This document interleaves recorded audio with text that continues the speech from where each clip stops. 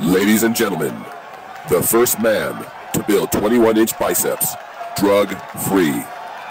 My friends, I want you to, I have an honor today. My good friend Jim brought his friend Kevin to me. Well, you know, I make the videos, been making them here for God knows when. And uh, I was like, when I opened the door, I didn't expect it to look so good now. You know, let me just rear back a little bit here, you know. And I said, I slammed the door in his face and playing around. I said, Jesus, because I didn't expect him to look so well. And, you know, Jim and I were like, uh, we're the same age. And uh, I can relate to Jim like, uh, no matter how smart you are or how intelligent you are, experience is time. You can't buy experience.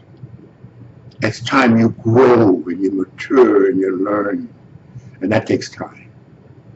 And Jim, of course, has a time and the life expectancy he's behind. He, now, you know what thrills me with him? He, uh, Jim, you're trying Kevin. You know what um, inspired me with Jim is that Jim is still at it. And you know what? I, uh, when I first got hurt, I thought it was the end of my life. Because I was so into bodybuilding, I would have drank horse urine if they said it made muscle. But you see, I got hurt just before the steroid rage started.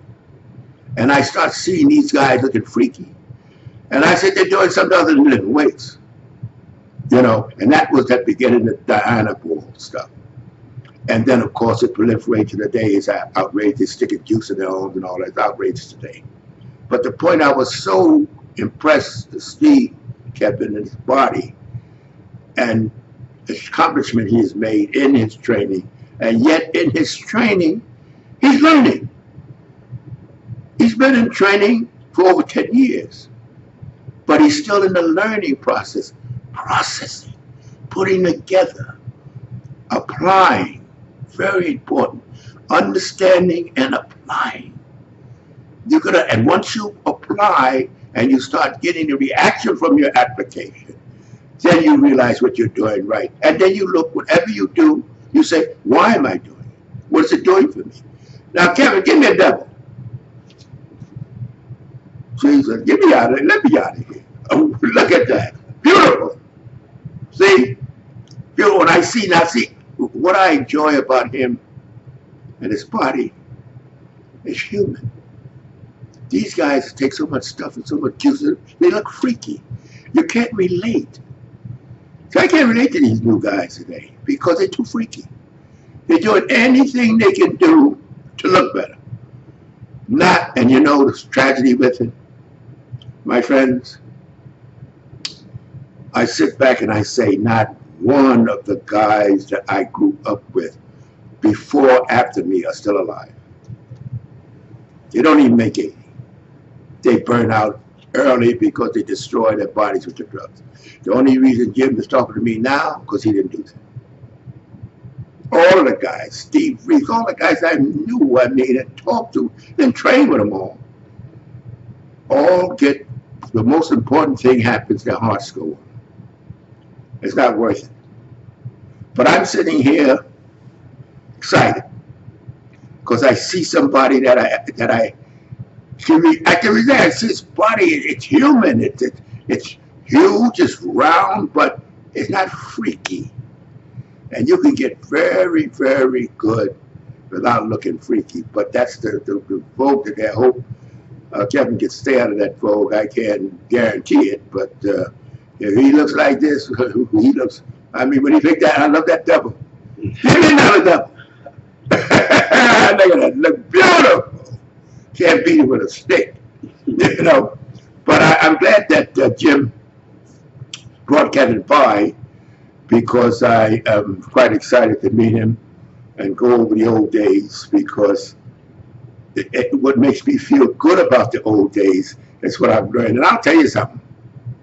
I say and I brag about it. Nobody tell me anything about bodybuilding. Nobody.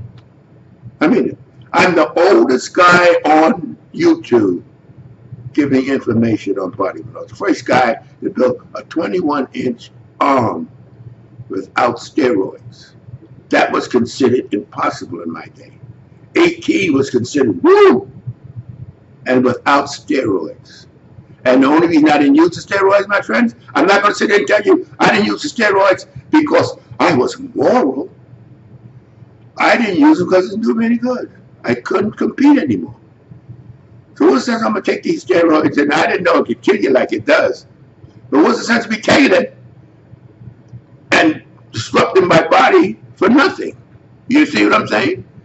So what I want to, what I want to, what I'm saying to you right now is how happy I am that uh, Jim brought uh, Kevin in and for us to talk.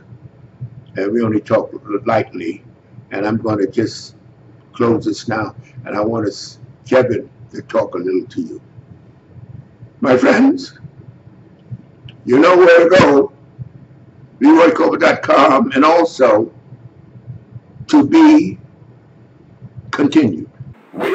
Wait a minute, a minute. Before you click away, I want you to subscribe, like, comment, hell, even dislike if you want to. At least do something before you get out of here.